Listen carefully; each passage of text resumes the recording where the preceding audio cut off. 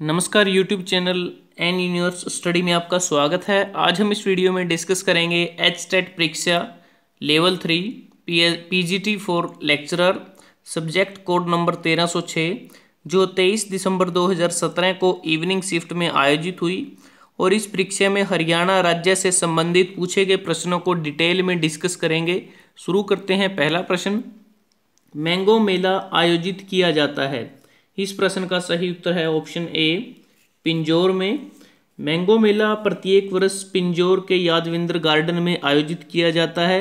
यह दो दिनों तक आयोजित होता है और यह मेला पहली बार वर्ष उन्नीस सौ बानवे में आयोजित किया गया था और यह हर साल जुलाई महीने में इसको आयोजित किया जाता है।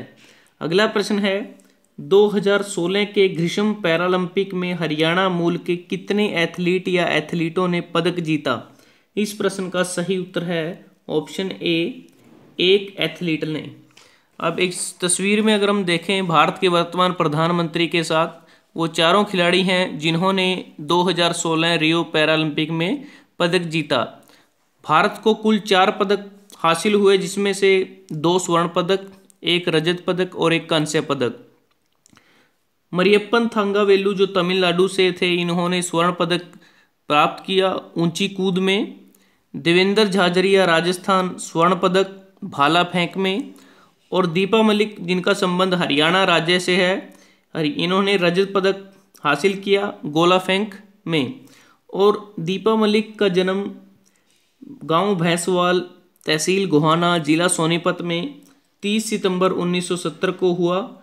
और दीपा मलिक कमर के नीचे का हिस्सा इनका लकवा से ग्रस्त है और इसके बावजूद भी इन्होंने रजत पदक हासिल करके पैरालंपिक में देश की पहली महिला बनी जिन्होंने पैरालंपिक में कोई पदक जीता। यह भी एक गौरव की बात है।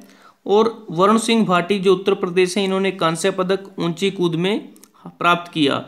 तो इस प्रकार रियो 2016 पैरालंपिक में भारत को चार पदक हासिल हुए और Rio 2016 Rio de Janeiro Brazil में यह आयोजित हुआ था और 2020 के पैरालंपिक खेल टोक्यो, जापान में आयोजित होंगे। वह जिला जहाँ यमुना नदी नहीं बहती है। इस प्रश्न का सही उत्तर है ऑप्शन ए, कुरुक्षेत्र।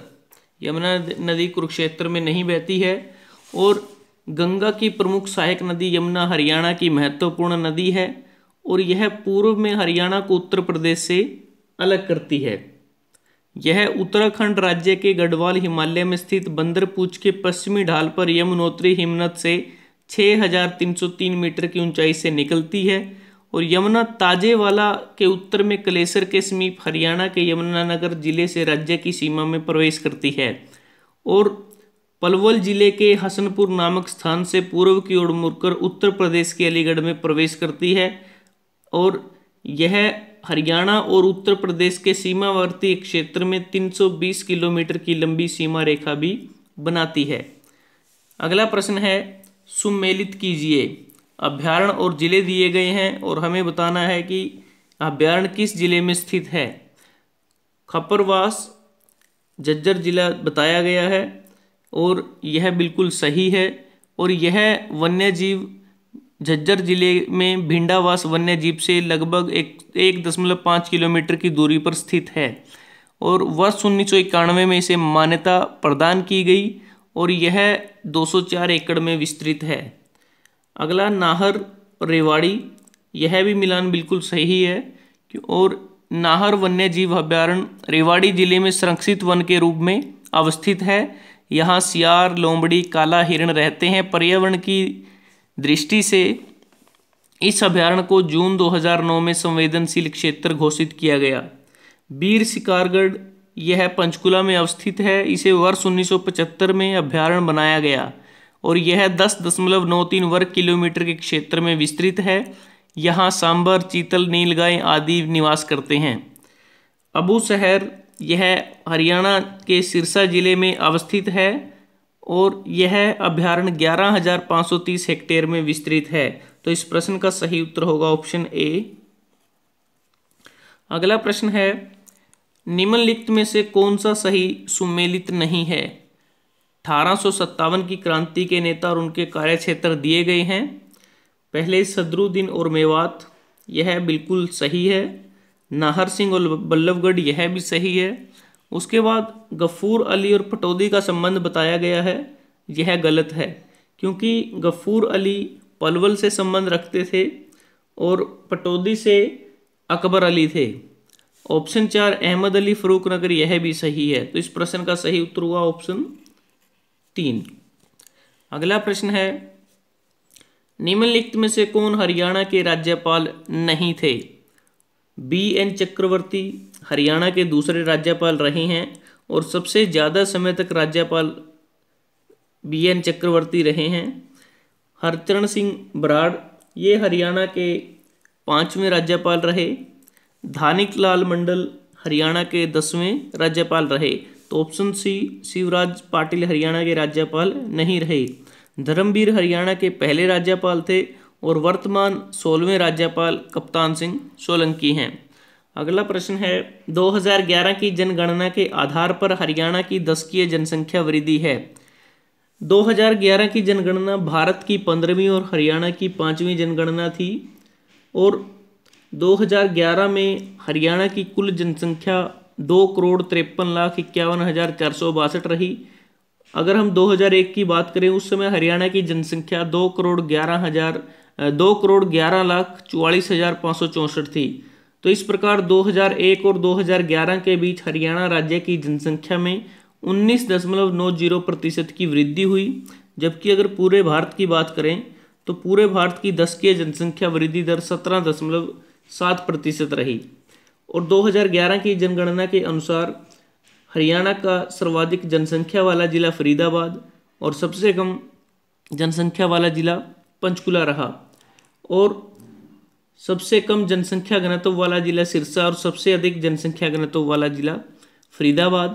सर्वाधिक लिंगानुपात वाला जिला मेवात। सबसे कम लिंगानुपात वाला जिला गुरुग्राम। सर्वाधिक साक्षरता वाला जिला गुरुग्राम। सबसे कम साक्षरता वाला जिला मेवात। सर्वाधिक पुरुष साक्षरता वाला जिला रेवाड़ी। सबसे कम पुरुष साक्षरता वाला जिला मेवात। सर्वाधिक स्त्री साक्षरता वाला जिला गुरुग्राम। और सबसे कम स्त्री साक्षरता वाला जिला मेवात रहा। अगला प्रश्न है, एक नवंबर 2017 को हरियाणा की तेरहवीं विधानसभा में महिला सदस्यों की संख्या कितनी है? इस प्रश्न का सही उत्तर है ऑप्शन बी, तेरह।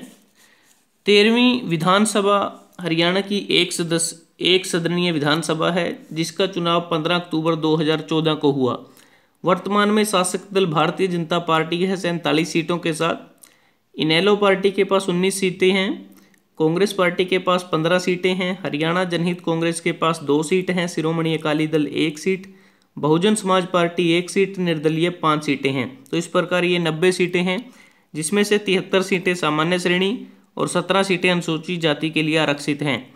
सत्रह सीटों में भाजपा की नौ सीटें हैं, कांग्रेस की चार हैं, इनेलो की तीन है, शिरोमणि अकाली दल की एक सीट है। उसके बाद हरियाणा राज्य विधानसभा में महिला विधायक कौन कौन हैं? भारतीय जनता पार्टी की आठ महिला विधायक हैं छः सामान्य श्रेणी और दो आरक्षित सीट पर हैं। सामान्य श्रेणी की विधायक कविता जैन सोनीपत से हैं, एकमात्र महिला कैबिनेट मंत्री हैं, लतिका शर्मा कालका से प्रेमलता उचाणा कला, रोहिता रेवड़ी पानीपत सिटी, संतोष यादव अटेली सीमा त्रिखा भड़कल से विधायक हैं। संतोष चौहान सारवण मुलाना आरक्षित सीट है। विमला चौधरी पटौदी, यह भी आरक्षित सीट है। कांग्रेस पार्टी के पास तीन महिला विधायक हैं जिन जिसमें से दो आरक्षित सीट पर हैं, एक सामान्य श्रेणी सीट पर है। शकुंतला खटक कलानौर आरक्षित सीट है। गीता बुक्कल जज्जर आरक्षित सीट है। किरण चौधरी तोसाम से सामान्य श्रेणी सीट से विधायक हैं। इनेलो के पास एक महिला विधायक है। नैना सिंह चौटाला, जो डबवाली से विधायक हैं, सामान्य श्रेणी सीट से। हरियाणा जनहित कांग्रेस, रेणुका बिश्नोई, हांसी, सामान्य श्रेणी सीट से विधायक हैं।